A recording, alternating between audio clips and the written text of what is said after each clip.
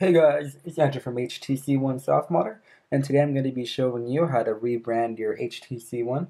So this can pretty much come in handy if you're switching between any GSM or LTE carrier, like if you're going from AT&T or T-Mobile or vice versa. Granted, this will not work on any Verizon or Sprint-based HTC One because they use completely different like software and firmware and stuff. And if you were to flash those radios onto, uh, a, let's say, an AT&T one, it just wouldn't work. So before we get started, make sure that you have ADB and Fastboot on your computer, that you have enabled USB debugging on your one.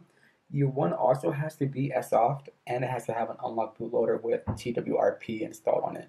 It won't work if, if neither of those are um, on your device. Um, once you got all that done, make sure again that you're going from um, AT&T to a T-Mobile or vice versa. And also just to make sure that there's no data loss, back up your your um, all your APKs and app data as well. After you have all that done, um, copy all those files over to your computer and then we'll be able to get started. The first thing we're going to be doing is changing your CID. So in order to do that, make sure USB debugging is enabled and then plug in your one to your computer. Okay, so to change your CID, the first thing you're going to want to do um, after your device is connected to your computer is open up terminal or command prompt, whichever you're using and then reboot into bootloader. So to do that, type in adb reboot bootloader. Give your device a second and it'll reboot into fastboot. After it's there, go ahead and type in fastboot OEM write CID and then enter the CID of the carrier that you're switching to. I am changing an AT&T branded HTC one to a T-Mobile, so I'm going to be using that CID. You know, if you don't know the carrier ID of the carrier you're switching to, XDA has a reference list. So just go ahead and check that out. It'll be in the full tutorial in the description. So mine would be T dash MOB 010. Hit enter, it'll write it to your device, and then you'll be all set. After that, you just reboot into regular ADB. So just type in fast boot reboot and your device will be will reboot right into um the right back into normal. Mm-hmm. Next, we're going to be changing the MID. Changing the MID usually required you to like flash a special engineering bootloader and then changing it that way. But um, thanks to an XDA member, I believe the name was Gove, there is now like an Aroma installer just to do that. So in order to get that um, going on your device, you have to download that tool from um, from XDA from the XDA page, and that there's a link to that in the full tutorial. So just download that directly onto your one using like either Chrome or whatever internet browser you have on it. And then after you have that downloaded onto your SD card or the internal storage of your device, go ahead and plug it in again. Again, make sure USB debugging is enabled, and then in terminal type ADB reboot recovery. This will boot your device into TWRP or whatever other custom recovery. Mm-hmm. I use TWRP because it's the most stable and has the biggest compatibility with most tweaks and uh, ROM installs. Okay, once your device is in recovery, um, you're gonna want to hit the install option. Scroll down to the MID change zip. Um, mine is right in the SD card parent folder, so hit on that.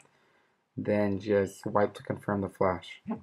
Okay, after you swipe, it'll bring you to the Aroma installer. So just hit next one time, agree to the terms, hit next uh, twice more, and then now you're going to be greeted with a list of all the possible MIDs you could change your one to. Since I'm going from AT&T to T-Mobile, I'm going to select the fourth option to switch to T-Mobile.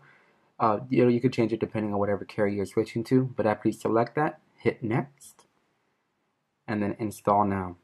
It'll then install the MID to your device. If it does hang at 0%, just hold the power button until your phone restarts and then you're going to have to redo the process. It is a known issue, but um, so now just, if it happens, just go ahead and do that. After that's done, hit next. Once you hit next, hit finish. Swipe to unlock. And then you could just reboot your system. Now that you have your device rebooted, it's going to be um, on the T-Mobile, or in my case, in the T-Mobile and CID and MID. After you have that, just make sure USB debugging is enabled and plug it back into your device. Now you're going to have two options. You could either relock your bootloader or leave it as it is if it If you're going to leave it as it is, go ahead and skip this next step. But if not, you're going to want to um, relock your bootloader. So in order to do that, we're going to be downloading the Revone tool. So just go ahead and check the link for that in the full tutorial and then download that directly onto your computer's desktop. After you have that on your desktop, make sure USB debugging is enabled and um, plug your, your one back into your computer one more time. Now that you have Revone on your desktop, you're going to want to push it to your device. So in order to do that, type in adb push desktop slash Revone and then send it to your temp folder. So that's data local temp. Hit enter and then it'll send it to your device. Change desktop Revone to whichever um, directory your Revone file that you downloaded was put into. After you have it on there, you're going to start um, preparing it to be ran on your device. So hit adb shell, enter, su, enter. Your device is going to ask you at this point to grant it super user permission for adb shell. So go ahead and grant that. If not, just go ahead and um, ignore it. But um, you'll know you did it right if you see that root at M7 in your ADB shell. After you have that, change the directory to the temp folder. So that's cd data local temp.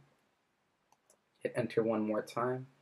Now you're going to change the permission of the file. So that's chmod 755 revone. Hit enter. And that's pretty much it. Now Revone will be able to run on your device. So to lock your bootloader, you just type in dot slash Revone dash L, hit enter. You get the successful message, that means you're all done. So now all you have to do is exit out of the shell. So just type in exit twice, so that's exit, exit. And now you're just going to reboot your phone into bootloader to start flashing the RUU, which will let us um, flash the the new carrier's firmware files. So to do that, type in adb reboot bootloader. Hit enter, and then you're all set.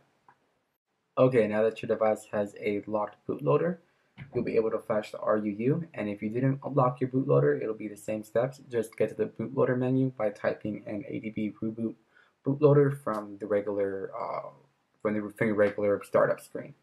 After that, you're going to want to download the RUU zip for your new carrier. In order to download that, there's a link in the tutorial for HTC One Guru. They have a bunch of zips on there that you could download. Just make sure you grab the right one for your new model number and your new CID. After you have that on there, place that on your desktop, title that um, RUU.zip just to make it easy. And um, just and then after you have that, we'll be able to flash it onto your device. To do that, you have to put your phone in RUU mode first. So to do that, type in fastboot OEM reboot RUU. Hit enter. After that, you're going to see a silver HTC logo on your one, and that means you did, you did the um, process right. So now we'll be able to start flashing that um, RUU zip. So to do that, type in fastboot flash zip desktop slash RUU. I um I changed the directory of mine just because I have a bunch of different RUU zips on my computer, so that's where I keep them. But just change that extension to wherever you put your RUU zip. After you have that typed out, hit enter, and it'll start sending the file to your device. Okay, you know that your device accepted it. If it says uh, failed at the bottom, um, that doesn't mean that the, it failed to send. That just means that it failed because you have to actually install the RUU now. So just um, in a terminal or command prompt, just type in that same um, command one more time and then hit enter. Alright, after you get that message in terminal that the process has completed, you'll be all set. All you have to do is first erase your cache because um, this is to prevent any kind of boot loops. So you just type in fastboot erase cache, hit enter, it'll erase it, and then all you have to do is reboot your phone. So type in fast boot, reboot and enter, and your device would restart. Okay, after your device reboots, you're going to have to go through the initial setup as if your phone was brand new.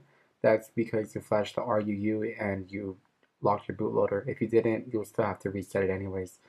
You'll now have all the T-Mobile branded or whatever carrier you you flash onto your device. You have all like their um, proprietary apps on there. It'll come with all the same features and also it'll come with all their um, carrier OTAs. So if you want to go ahead and check that out, just go into the settings menu and then go all the way down to about, hit software updates, and then you'll be able to check for updates already.